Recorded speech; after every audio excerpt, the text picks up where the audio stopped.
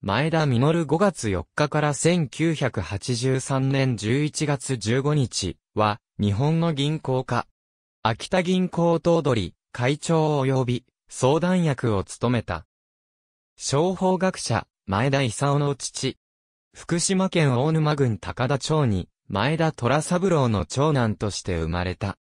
1928年、東京帝国大学経済学部商業学科を卒業。同年、旧、秋田銀行に入行する。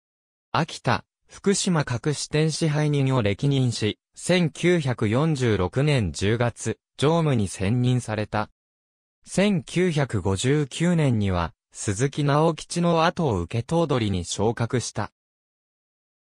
頭取在任時は、店舗の県内外への新設や再編に取り組んだほか、現本店ビルの竣工や事務センタービルの建設、オンラインシステムの稼働、さらには、東証二部上場の実現など、経営の近代化を推進した。1979年には、会長に優待。その後相談役に退いた。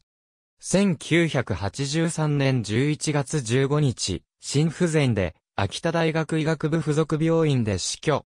去年80。住所は、秋田市ほどのあたご町。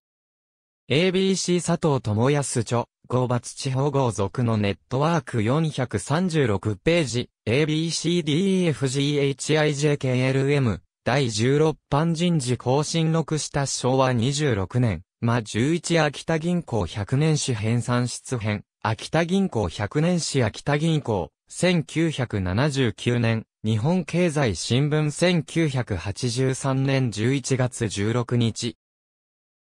ありがとうございます。